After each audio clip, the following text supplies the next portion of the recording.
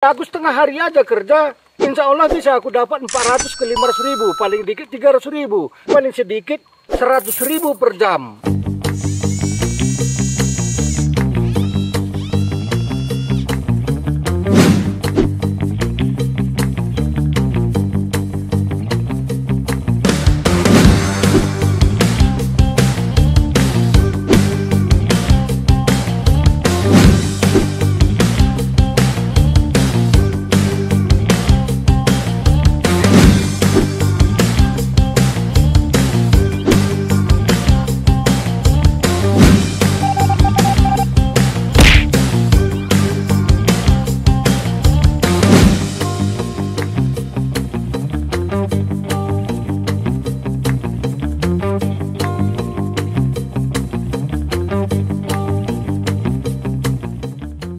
Cakar baja ini bukan hanya bermanfaat, memang itu udah buat kebutuhan saya sehari-hari. Nah, jangankan bagi saya, bagi petani itu sangat bermanfaat. Bagi petani pun yang udah kenal kuit cakar baja, dia memilih kuit cakar baja untuk yang mengerjai di ladang mereka, nah, bukan cakar yang lain. Di samping kerjaannya lebih rapi, lebih dalam, lebih cepat, jadi cari uang pun lebih gampang. Orang tahu bedanya, jetor ginting itu dalam, jetor yang lain tidak dalam. Itulah omongan teman-teman.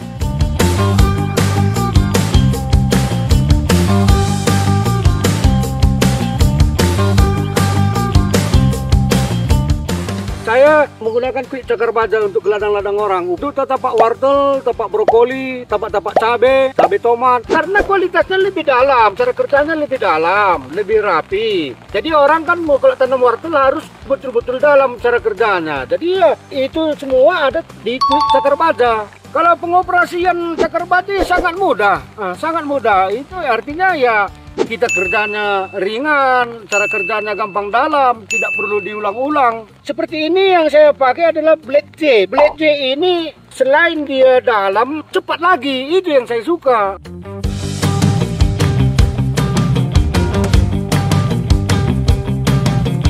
Sebelum menggunakan cakar bajar itu kita merek merek-merek Cina lah, produk-produk Cina gitu. Ah. Kendalanya sih nomor satunya ya bagi yang bikin saya pusing ya adalah bagian kerdang. Bagian kerdang itu itu nggak bisa lagi dimaklumi bagi saya karena kalau bagian kerdang ini onder deal itu yang dibeli katanya tunggu pesan dulu. Datangnya kapan? Kerjaan besok sudah menunggu. Kalau ke Jakarta kita pesan ini hari asal duitnya udah kirim paling lambat tiga hari udah datang. Makanya saya beralih ke Quick Cakar Baja. Daya tahan bagian gerdang, bagian body Quick Cakar Baja ini bandingkan dengan beberapa jetor saya yang saya udah pernah gunakan ini nomor satu awen uh.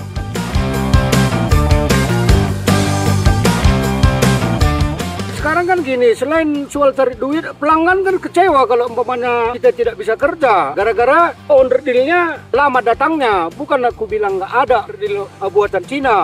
Mungkin ada tapi prosesnya sangat lama. Jadi kalau menggunakan kuit paling lama tiga hari. Kalau meleset mungkin ada hari minggunya paling lama lima hari sudah datang. Kalau umpamanya produk yang lain itu tadi bisa nunggu berbulan-bulan. Orang perlu nanam apa boleh nunggu berbulan-bulan kan seperti itu. Nah, saya bukan menjelek-jelekkan produk yang lain, bukan. Bukan saya bilang nggak ada, mungkin ada tapi lama datangnya gitu. Ah.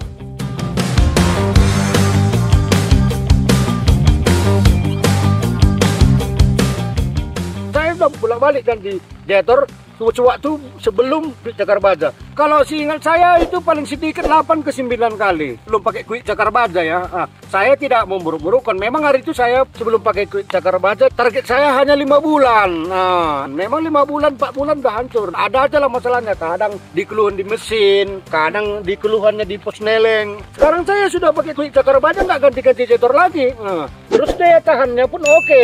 Begitu dari seal. Seal pun daya tahannya oke mesin oke. Okay. bahkan dua-dua cetor cakar baja kita. Satu anak saya yang SMP yang, yang bawa satu. Jadi apa lagi diragukan? Menurut aku tidak ada lagi yang perlu diragukan. Kalau memang saya udah ragu ngapain saya beli dua?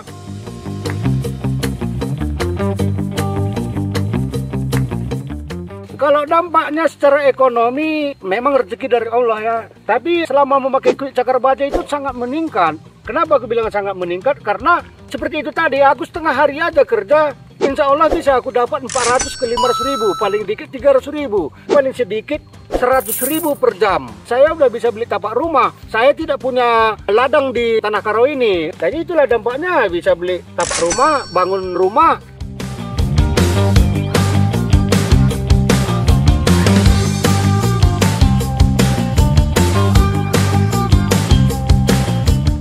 Makanya, kusarankan sama teman-teman, jangan lagi ragu-ragu dengan quick cakar baja. Memang cakar baja bagi saya itu nomor satu. Sebab cakar baja memenuhi kebutuhan dalam rumah tangga saya. Mulai dari anak sekolah, makan, dan pokoknya kebutuhan rumah tangga saya hanya dari quick cakar baja yang saya harapkan. Tidak ada yang lain. Saya tuh bukan mendukung-mendukung atau membela-bela quick cakar baja.